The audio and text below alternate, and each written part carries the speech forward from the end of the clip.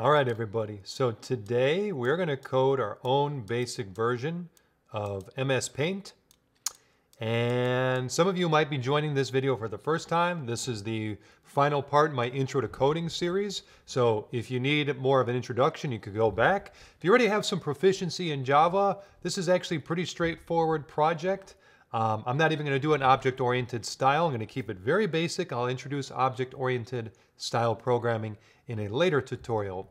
But yeah, this is it. We're going to make our own paintbrush program. And for those of you who have been following the full tutorial series, you actually already know enough to do it. What you might be lacking is some basic um, problem solving skills in coding. And that's all right. That's part of what you're here to learn. And I can't emphasize this enough. Being a good coder is about solving original and unique problems. That's how you become a good coder. And you might come up with an entirely unique way to solve a problem that's existed for years. Uh, maybe a more efficient way or a better way, I'm not sure. But um, hang around, this is, this is a cool one. See you in a moment.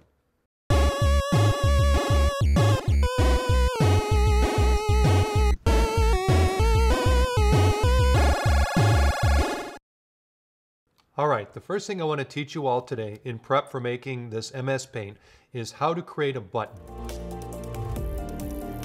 And a button in the programming sense of the word means when you click a particular portion of the screen, it saves the state and uses that state change, you know, stores that information in a variable to achieve a different effect. In this case, depending on which quadrant I click, I make a ellipse that gets bigger or smaller. And so for some of you who might have a guess of how to do this, I would recommend you just code your own way of doing it right now. And then uh, I'm going to just go through the answer, uh, well, right now, right away. And this is all in prep of making your own paint program. So we're on, this is step six, actually video seven. So let's call this uh, 7A button. Now, um, you notice that I made an ellipse that's going to be changing its size, so I need to make a variable to store the size of that ellipse. So I'm going to make float r for the radius of the ellipse. I'm going to make a canvas, and I will do it of size, typical size, let's go 800 pixels wide by 800 pixels tall. And yay, goody. Okay, white background, so we're going to go into our void draw uber function.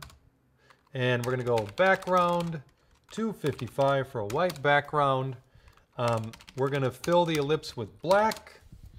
And uh, let's draw some lines to break our canvas into quadrants. So we're going to draw a line, if you guys remember that. And that's going to be 0 height divided by 2. So it's beginning at all the way at the left at 0. The height is begins halfway the height of the screen. It's going to span the entire width of the canvas, so it's go from zero to width, and then it's going to stay at the same height, which is going to draw, I'll just show this real quick, it's going to draw a horizontal line across the screen. So now let's draw a vertical line. So that's going to be line, and we're going to begin it, uh, let's see, in the middle of the screen, so that's width divided by 2, begins at the top, stays in the middle of the screen, don't know why I can't type with, never could. And it's going to go all the way to the bottom. And there you are. I've separated the thing into quadrants. Now, the effect we're trying to achieve is, depending on where I click, I change the size of an ellipse. So what I'm actually doing is, depending on where I click, I'm changing the state of a variable. And then I automatically apply that variable in my ellipse, if that makes sense. So let's show you what I mean. So I'm going to say if you press the mouse button, if mouse pressed, and now we're going to restrict it to a certain vicinity of the screen. I'm going to say if you press the mouse and the x coordinate of the mouse is on the left half of the screen. Right? So if I press the mouse and it's on the left half of the screen. And let's put it on the top half of the screen of the, as well.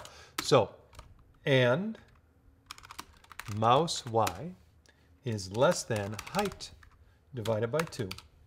So I'm saying if I press a mouse and it's on the left side of the screen and it's on the top, the left half of the screen, and it's on the top half of the screen, which means I'm in the top left. I'm in the left quadrant, right? Let's do the following. We're going to change our variable, change our variable r to 100. Now, let's do something with that variable. Let's just draw an ellipse with it. And I'm going to put that up here. I'm going to make an ellipse, and I'm going to put it right in the center, width divided by 2, height divided by 2, and I'll go radius times 2, and radius times 2. Boom. Let's do this. So nothing shows up. I click here. Boom. I draw an ellipse of radius 100. Let me rerun it. Notice if I don't click in that quadrant, no ellipse shall appear. Why? Because the radius variable by default is set to its value up here. It's initialized to the value of zero. So it is drawing an ellipse right now. It's just that ellipse has a radius of zero, so it's not existent. Well, yeah, it's not existent, uh, but it is existing just with a radius of zero. Okay, so, but now once I click, the radius becomes zero, and there it is. And of course, nothing is going to overwrite it in these other quadrants. Now, here is an okay time and place to use copy pasta. So I'm going to control C all of this, hit enter, control V, or command if you're on the apples. Um, so let's put, let's go on the top right quadrant. So all I got to do is flip this guy, right? All I got to do is flip that guy. And let's change the radius to, say, 200. So now I'm saying, hey, if I'm on the right half of the screen and the top half of the screen, make the radius 200. So let's do that. Boom, 200. Yay, if I click here, boom, 100. See that? And I think you guys get the ideas, you guys and gals. So let's copy pasta again. And then I'll copy pasta again. I'm going to control T because you line up your stuff. Make it neat. Otherwise, it's a no good. Um, so now I'm going to say if you're on the left half of the screen and the bottom half of the screen, let's make the radius 300. And I should say if you're on the right half of the screen, maybe that's what I said. I don't know what I said. If you're on the right half of the screen and, uh, oh, no, no, no, wait. Yep, I said it right the first time. If you're on the left half of the screen and the bottom half, make the radius 300. If you're on the right half of the screen and the bottom half of the screen, make the radius 400. Let's see if I did that right. Uh, no, no, I did not. All right, let's check that. Mm-hmm. Ah, boom. There it is, I believe. I don't know. Let's see. Boom, boom, boom, boom. Yay! Okay, I got it. Okay. Told you, pixel locations get you. It's all right if you stare at these functions in their fat, stupid faces over and over until you get it. It's just just the way it is. Um, you got to understand. You have to be spatially oriented to make sense of this. Okay, so that was our first intro um, on how to make a button. Notice I didn't go into too much detail because I want you all to solve this for yourselves. You'll learn more. And now the next thing is I'm going to show you a bit about how do you want to limit the value of a thing. So you only want to do things in a certain value range. Let me show you what that means. And guess what I remember to do? File, save. Yay! Okay, next part. All right, second and last assignment before you make your MS Paint. So what I've done is I've just made a simple background. And when I hit the W key, it gets progressively whiter, but notice it doesn't get all the way white. In fact, it only gets halfway there. So when I hit the W key, it gets progressively whiter, stopping at halfway. And when I hit the S key or down, it gets progressively blacker. And so I've limited how far white or black this can get by constraining by variables. So pretty straightforward. And again, you need this concept in order to make the MS Paint version we're gonna make. So let's do this. So we saved already, so I'll go File, Save As. I'll call this 7B. Uh, I'll call this constraining variables. 7b constraining variables. Yay! Okay, so I'm going to make uh, a variable called white or white whitenessity. Whitenessity. Its ability to be white. Okay, so we got whitenessity as a variable. Uh, and let's just get rid of all this stuff, y'all. Say goodbye.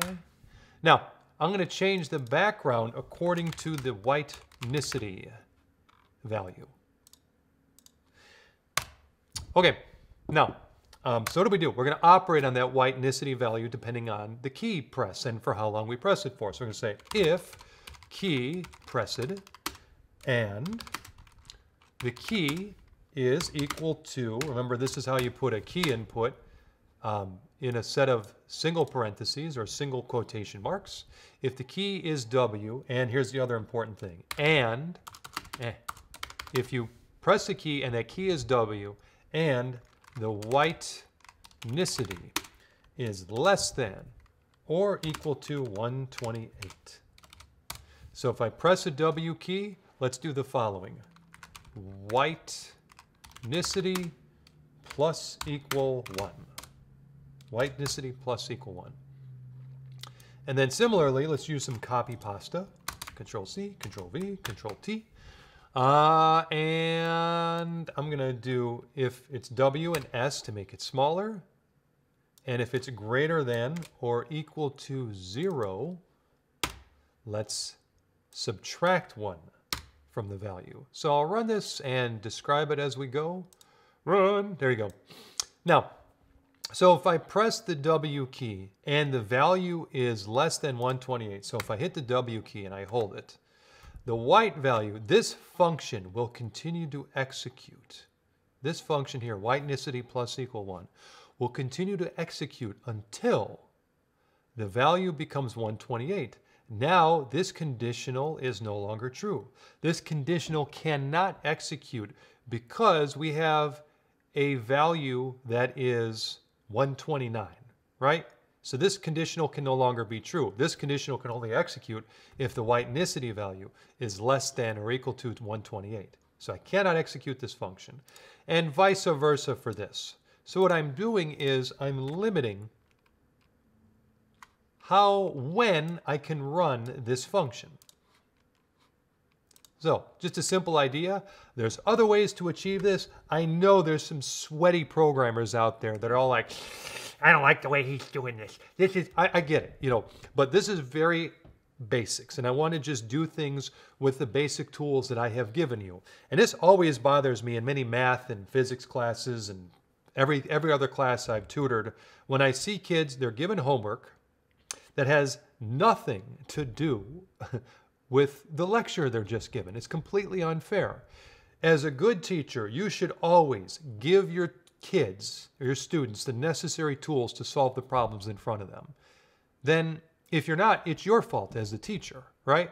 I want to give you all complicated problems to solve that are fair based off the tools I have shown you.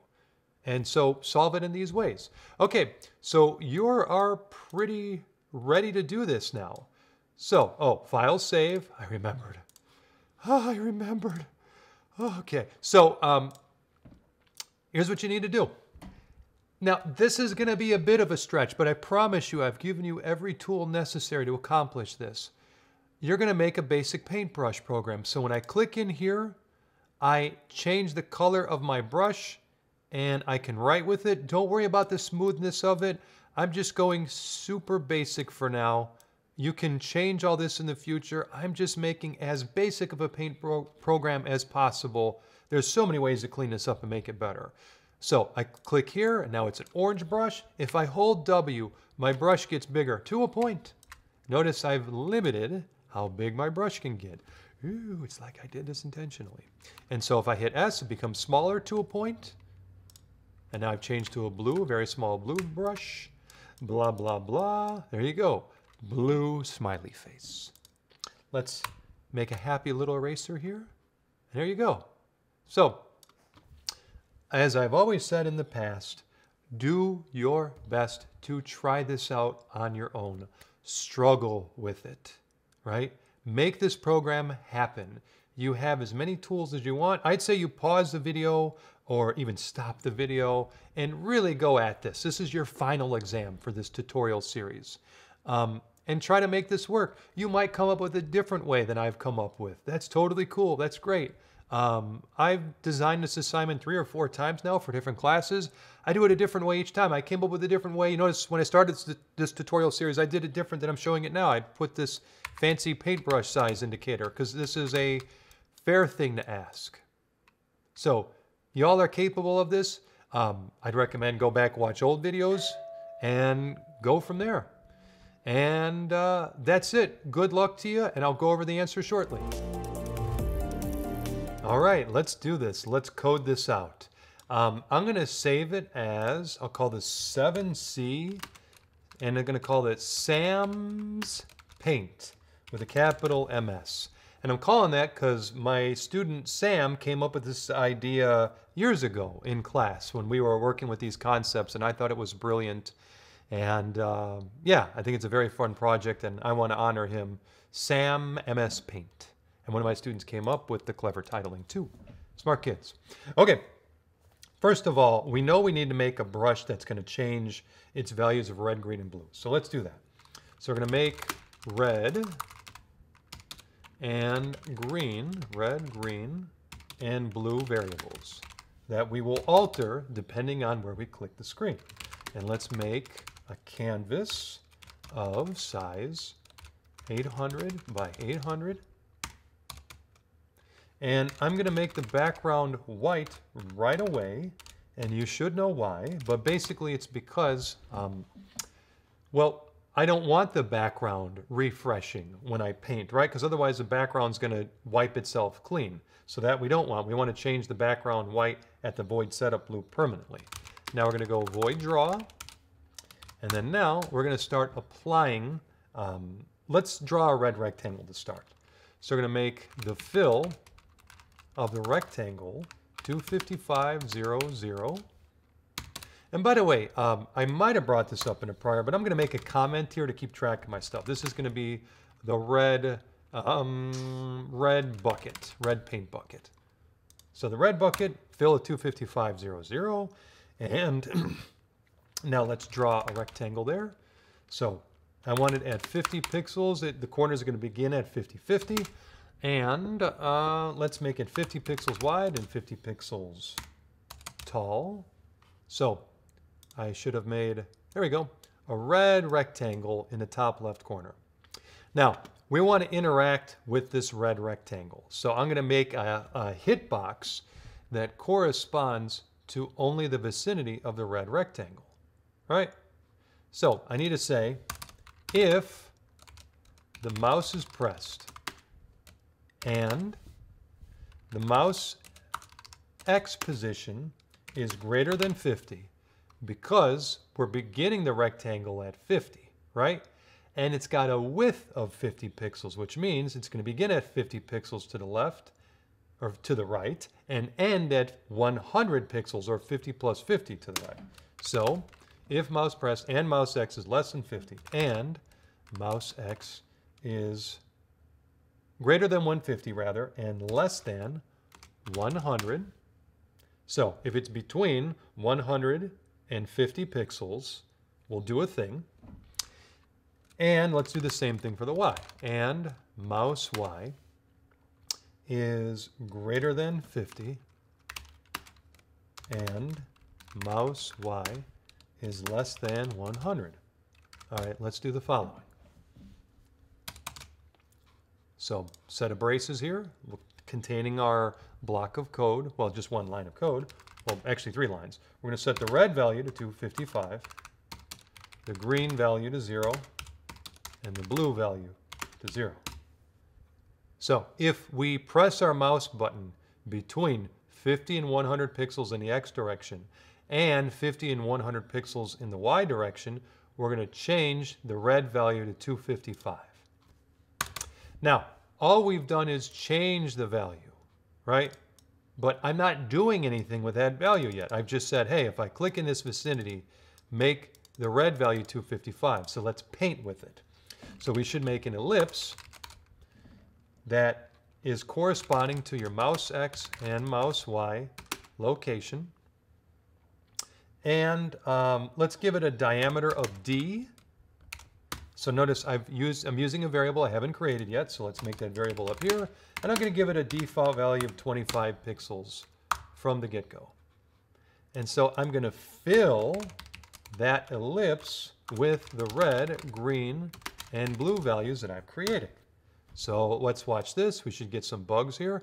So look, it's painting by deep by default, right? Because I never told it to not paint by default, It's just always drawing an ellipse based off of the red, green, and blue values, which by default, when we've initialized our variables, remember if you don't give a variable a value, it is automatically given the value of zero. So right now I am just painting with zeros for my red, green, and blue. And if I click here, ah, so look, I've changed it, right? I'm painting with it, but I'm not painting conditionally. So we only want to paint, we're going to say if mouse pressed. And I don't want to paint in the vicinity of where my palette menu is located. So I'm going to say if mouse pressed and the mouse Y is below our menu bar up top. So if I press my mouse button and I'm below my menu bar, let's paint, Control T. So again, note how I'm stacking my braces. Let's go. So, ah, good, I'm not painting automatically. If I press a button, ah, mouse Y is less than. I did it backwards. We should say greater than 100. There we go. So look, I'm painting, and I'm not painting up here because I'm pressing my mouse button but mouse Y is not below 100. Or greater than 100 rather, right? Now let me click here and yay, goody. I've dyed my paintbrush, but we have this issue where I'm leaving um, the outline. So we need to get rid of that outline. So we're just gonna say no stroke when we do that. So now I click, ah, goody. But notice there's one little problem notice that the stroke around my paint palette, my paint swath, I don't know what you call that, my paint, my paint button has disappeared. Like the, the black outline is gone. See how it's there? Now I click, it disappears. Well, because once I execute this conditional, no stroke applies across the board. So let's bring the stroke back up here. And I'm making a little bit of a thicker border, stroke two. Click, here it is. So stroke remains even though I click. And you can already see where I'm going with this. So let's kind of stick this all together. Uh, looking pretty good. And so I'm just gonna make a green bucket. So we're gonna go Control C, boom, boom, Control V. And I'll Control T to line it up. Now we'll make a green bucket. You can do all the other colors yourself. These are just simple RGB values to make like blue or uh, orange and yellow. Those are easy things to look up, so I won't get into that level of detail. But now let's make a green bucket. So the green is going to be 0 on the red, 255 here. But now I need to change the location. So again, this pixel location stuff is a little bit, um, this is going to probably make some logical contradictions because I'm drawing my green bucket right now on top of my red bucket. And that's fine. So remember the red bucket went from, my red button, maybe is a better word, is existing here from between 50 and 100 pixels. So I need to begin my green rectangle here at 150 pixels and end at 200. So I'm just going to plop a 1 in there and put a 2 here. And I actually don't need to mess with the Y values at all. But I do need to change these values here. Because when I click in this vicinity, so let me just illustrate it here. Ah, uh, it's still not working. Why? What did I do wrong here?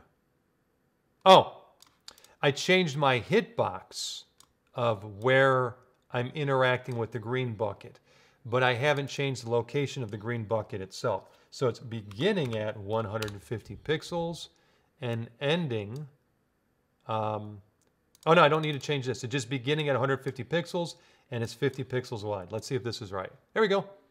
So let's see if I'm working. Uh, click here and I can paint with red. Click here, paint with green. And there you go.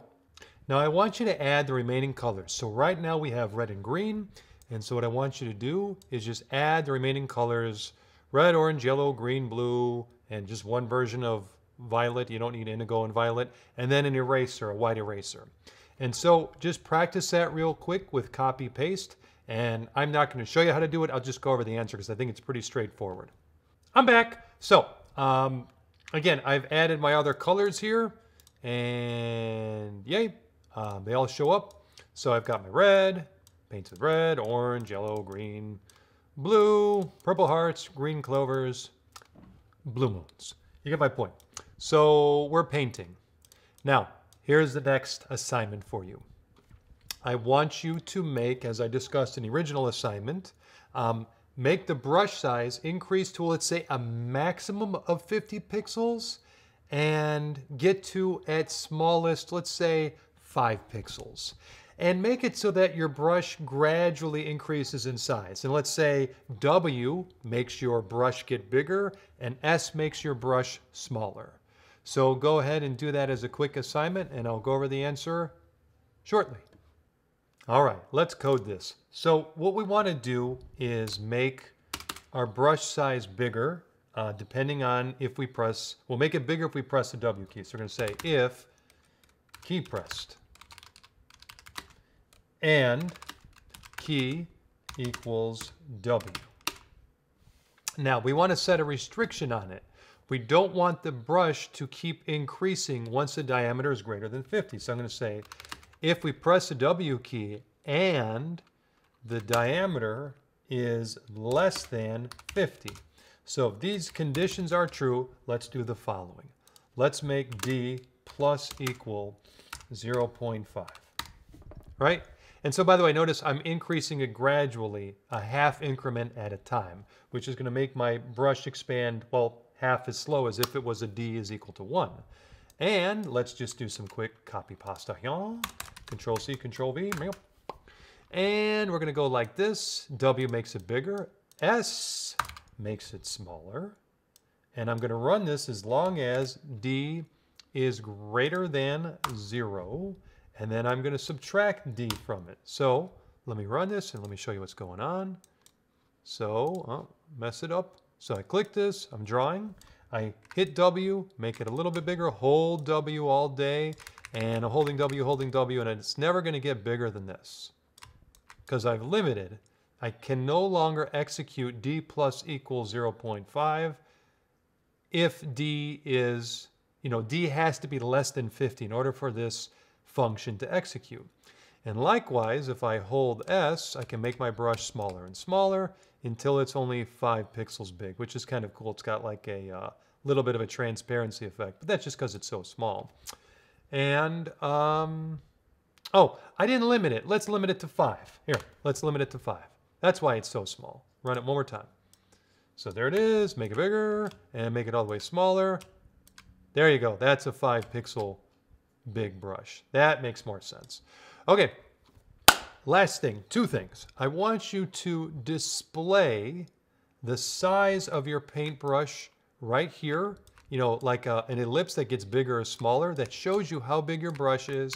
And I want you to do one thing. I want you to clear the entire screen um, if you press the space bar. So it's wiping your slate clean.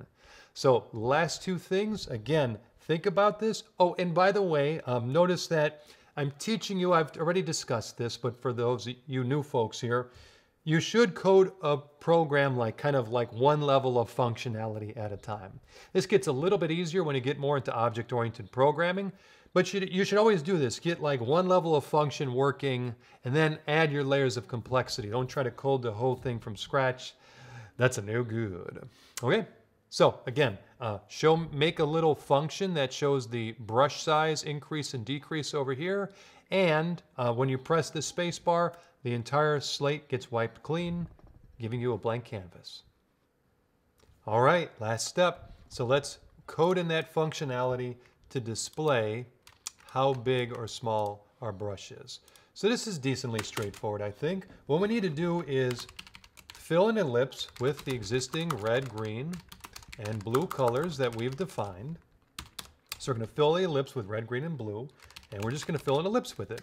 Now, the only thing that's a little bit difficult is where we locate that ellipse. I'm going to center it, because remember, you draw an ellipse according to the location of its center.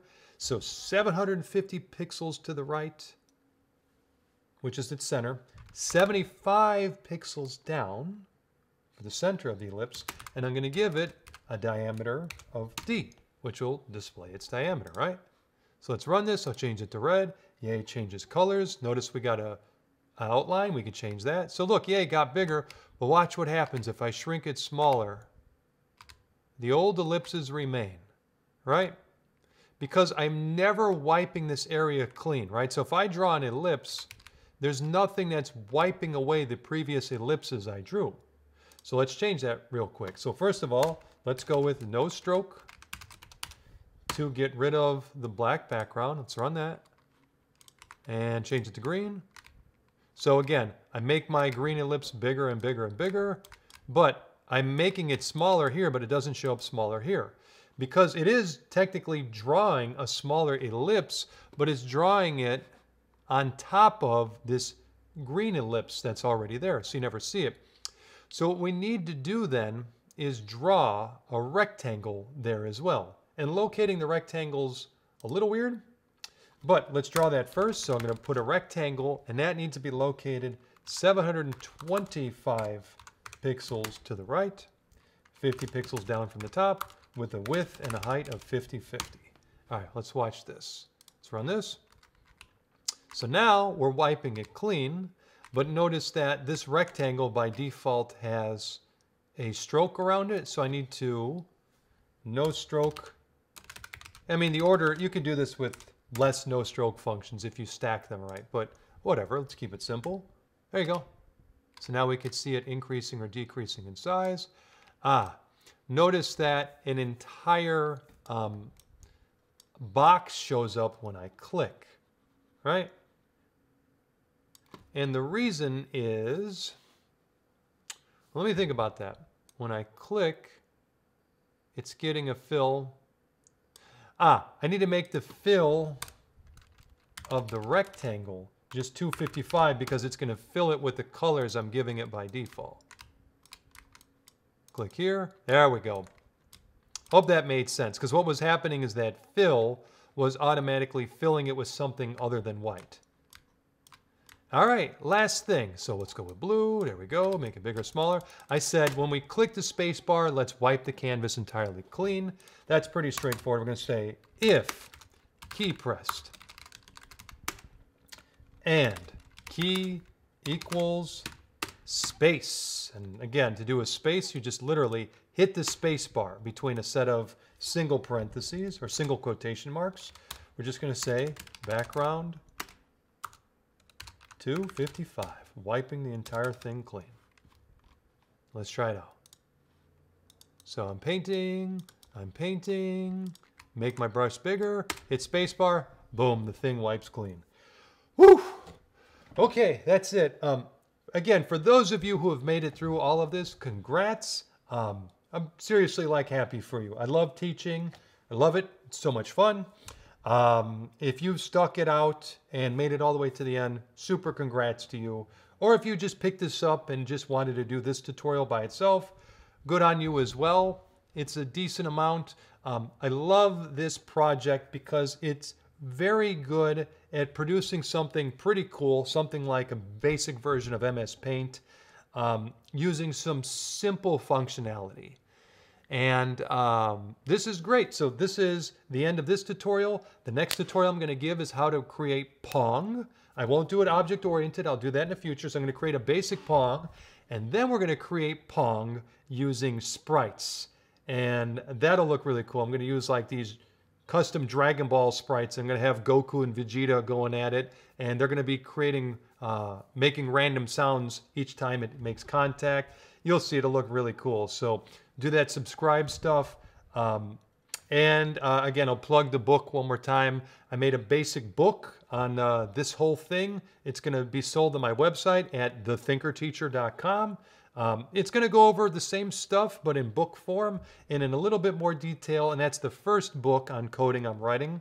Um, and I'm going to write other ones, but I'm just going to release little books at a time that you can download Maybe I'll put it on Amazon too. I don't know yet. I'm still, I'm still working all that out. All right. Congrats, everybody. Goodbye.